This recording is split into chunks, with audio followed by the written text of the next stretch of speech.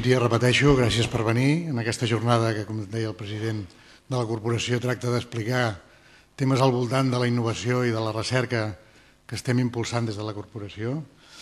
Us explico molt per sobre la, la jornada i com que estem en, estem en el món una mica de la, de la recerca, la recerca tenia un punt, de, un punt bastant alt sempre d'incertesa, comences les coses, saps com comences però no saps amb què acabaràs, amb aquesta jornada també està passant una cosa així. Sabem més o menys com comencem, però no sabem com acabarem. Ho dic perquè tenim una ponent en aquests moments en l'aeroport de Dublín bloquejada per la neu i que eh, probablement no la podrem tenir aquí, tot i que estem intentant poder-hi connectar d'alguna manera.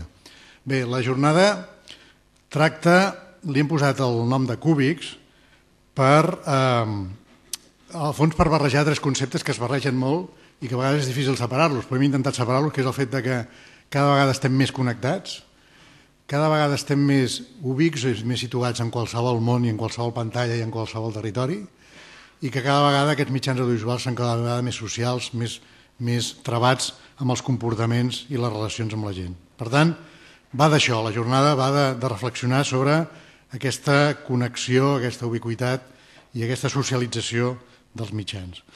En la jornada comptarem amb en, amb en Brian David Johnson, que aquest sí que ja sabíem que no venia i el vam ja preveure que el connectàvem des de Portland, des d'Oregon, i allà, allà no sé quina hora és, però és una mica, una mica tard o una mica d'hora, no sé.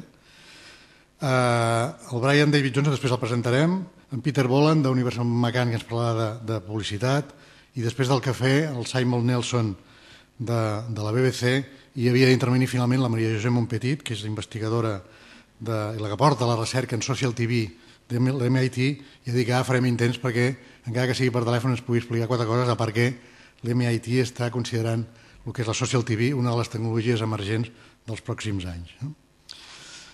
El, aquesta eh, jornada heu vist que està eh, organitzada pel CREA. Jo us volia presentar una mica què vol dir això del CREA, perquè jo diria que és una cosa molt interna que fins ara no ho hem explicat massa de cara, de cara en fora. El CREA, al fons, és, és l'acrònim del Centre de Recerca Audiovisual, és un centre virtual que tenim internament a la corporació, el que tracta és de dinamitzar aquest tipus de, de propostes de recerca. En el fons, el, el CREA què és? És un, projecte, és, un, és un laboratori en el qual fem projectes d'innovació, també testegem, fem un laboratori de testeig de, de, de projectes, dinamitzem intentem dinamitzar eh, el que és les diferents empreses de la corporació perquè es tinguin present el tema de la, de la innovació i la recerca i després divulguem internament i avui també de cara en fora. No? El, el procés que, com funciona això del CREA, és un procés obert a tota la corporació tal com funcionem.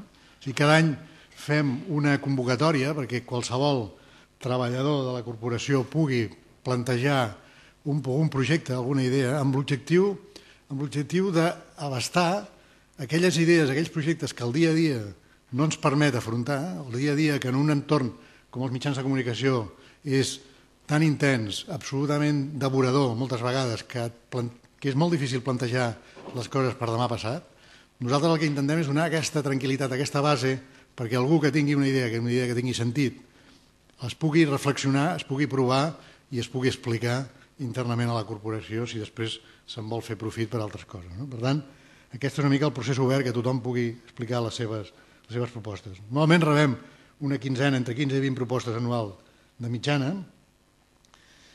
Hem fet uns, en el llarg, jo portem uns dos o tres anys funcionant, hem fet uns 3, 13 tallers i seminaris interns explicant a partir d'aquests projectes doncs, tecnologies, formats, barreja de tecnologies i formats i diferents coses, i hem passat en aquests tallers al voltant d'uns 1.000 participants de la de fet, treballadors de la corporació.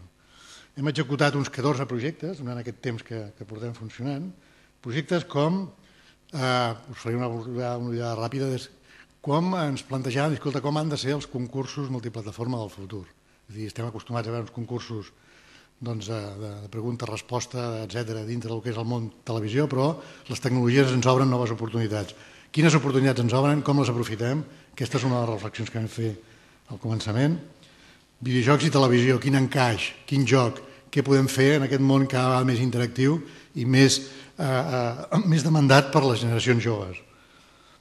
el, tot el, el món de la personalització de continguts. Com ens hem, de, des d'un punt de vista d'aquest entorn canviant, com des d'un punt de vista de la corporació d'una televisió, d'una ràdio, d'uns mitjans interactius, com hem d'afrontar el repte probablement imparable de que els continguts els haguem de personalitzar d'alguna manera. Això tecnològicament què ens suposa? Conceptualment, quins mecanismes de canvi i de treball diferent ens hem de, ens hem de plantejar. Eh, un dels projectes grossos que hem fet durant aquests anys és tot el que és entorn de la televisió híbrida, aquesta connexió combinada de televisió que ve per aire, de televisió que ve per IP, què està passant, què passarà, com ens hem de posicionar, quins reptes tecnològics tenim a l'entorn de, la, de les nostres televisions i ràdios. A les pantalles exteriors, que hi ha una unitat ja d'intensa de, de, a, a dintre de, de la corporació, el que vam és ajudar és a dir a fer una reflexió sobre què s'està fent al món, què estan fent altres televisions, què estan fent altres... com l'audiovisual arriba en aquestes pantalles. Treball sobre el que és el, els mitjans socials, com ens, com ens relacionem amb les xarxes socials, aquest mitjà que els que tenim nosaltres, quina és la nostra reputació, com la podem medir, com podem saber el que està passant, què diuen de nosaltres.